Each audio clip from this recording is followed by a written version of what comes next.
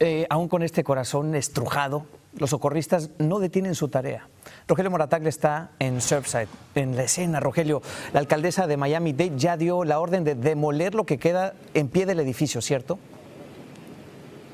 Efectivamente, Julio, la alcaldesa del condado Miami-Dade, Daniela Levin, ha firmado ya esta orden de emergencia para que sea demolida la parte que quedó de pie de este complejo de condominios. Ahora los ingenieros están analizando cuándo sería el mejor momento para hacerlo, o sea, para determinar ya una fecha. Ellos también, es muy importante decirlo, han regresado los rescatistas ya a continuar con las labores de rescate, pero lo están haciendo en zonas que están muy protegidas y ahora están buscando que estas zonas se puedan extender para poder hacerlo de una manera más amplia. Ahora habrá que decir, Julio, que contribuyó el clima este día y sin embargo viene una nueva amenaza. Se llama Elsa y podría por supuesto complicar muchísimo las labores de rescate. Aunque no viene directamente al condado Miami-Dade, sí podría venir con vientos fuertes y obviamente las autoridades están analizando qué hacer en el momento en el que tengan mayor información, cómo van a trabajar los rescatistas, si va a ser seguro o no, pero por el momento, Julio, Elsa aparece como una